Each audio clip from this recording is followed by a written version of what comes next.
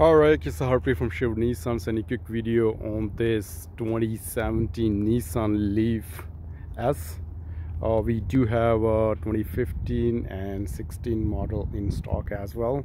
Uh, but this one over here is the uh, 2017. So that's how it look from the front. It's in really good shape. Uh, your charger plug-in. One is regular and there's one uh, supercharger as well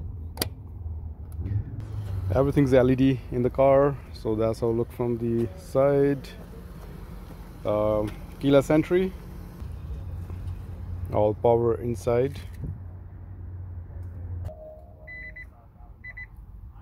So this one right now comes with the Bluetooth uh, full charge give you 145 kilometer but if you use the eco will change up to 152 kilometer range so this one does comes with a CD player XM radio. Push start button front seats are heated. This one does has the backup camera. That's how the rear seats looks like. And LED lights in the back too.